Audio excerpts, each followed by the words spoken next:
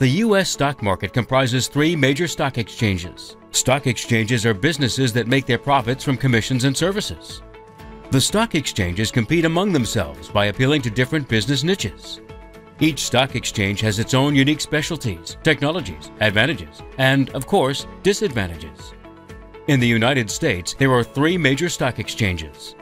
The New York Stock Exchange, NYSE, began operations in 1827.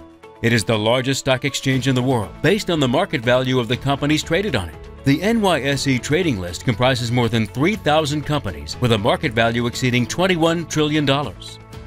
Although most all operations are now computerized, it wasn't long ago that NYSE market orders were handled by humans known as floor traders.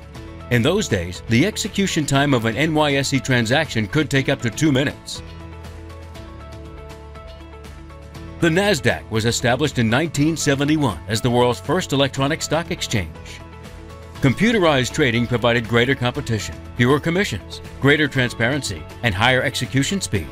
Within two decades and with the proliferation of the Internet, NASDAQ was accessible in the home of every trader.